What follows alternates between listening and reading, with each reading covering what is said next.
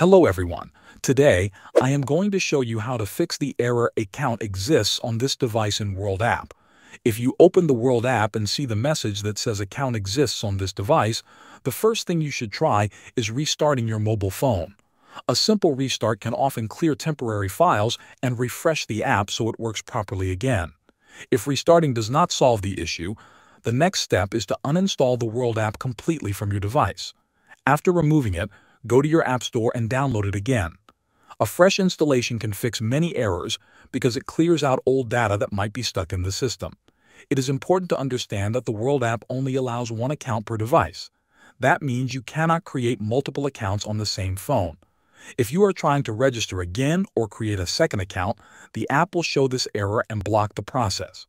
What you can do instead is create a new account on another device, such as a second phone or a tablet. Once the new account is created successfully, you can log in with that account on your main device. This way, you bypass the restriction and still get access. If you do not have another device available, the best option is to contact World App Support directly.